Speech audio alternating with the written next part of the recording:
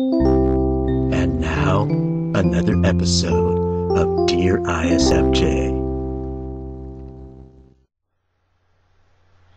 Dear ISFJ, so are you actually trying to help me understand your viewpoint on this controversial issue and get me to join your cause? Because when all you do is post a bunch of links to one sided arguments from bloggers I've never heard of, and then ignore anybody who challenges your views with relevant counter arguments, I'm not exactly persuaded to move from this fence that I'm sitting on.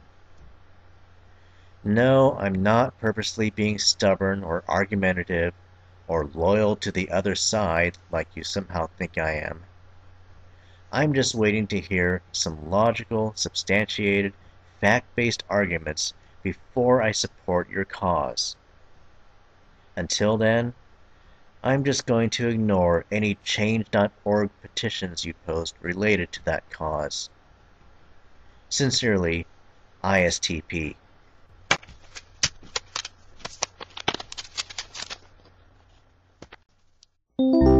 This has been another episode Dear ISFJ.